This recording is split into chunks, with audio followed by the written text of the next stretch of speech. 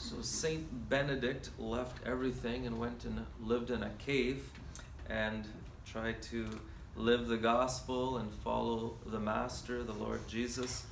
And I guess he got people's attention because people wanted to join him. And eventually he had monasteries, you know, groups of people who were uh, living the life he was living. And eventually he went on to write the Rule, St. Benedict's Rule, which apparently is one of the most read pieces of literature in history.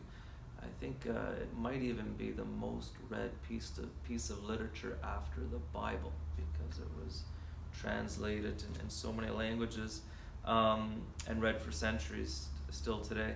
Saint Benedict is the, the founder of Western monasticism and also the father of Europe because his rule and way of life um, uh, had a huge influence on uh, the, the, the, culture uh, of Europe and, and, the, and the growth of Europe. And um, a lot of people say that you know each one of us should have our own rule of life. And as a matter of fact, there's whole books written on, you know, writing your own rule. And I always thought it'd be nice to do a retreat here at the center, you know, on your rule of life, coming up with your own rule of life. The basic idea with the rule of life is, well, first of all, some people think, well, I don't like rules, you know. Well, this is the idea with a rule. If you think of a ruler, do they still call them rulers? You know, in school you have a ruler. What does a ruler do? It keeps you, it keeps you making a line straight, you know, rather than a crooked line.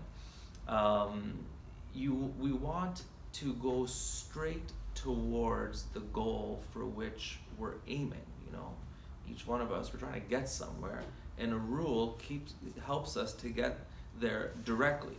The opposite of, of going straight or having a rule is living a life of dissipation, where we take our energy, our giftedness, our dreams, whatever else, and it, we dissipate it. Rather than going straight, we kind of go all over the place. Sometimes we might even be going backwards or just nowhere at all, you know.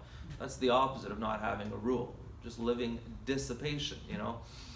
And, um, and so it's good. Like, it's, it's helpful, it's healthy to have, you know, a personal rule of life, you know. A person shouldn't be ashamed to say, hey, as a rule, I don't do this, you know.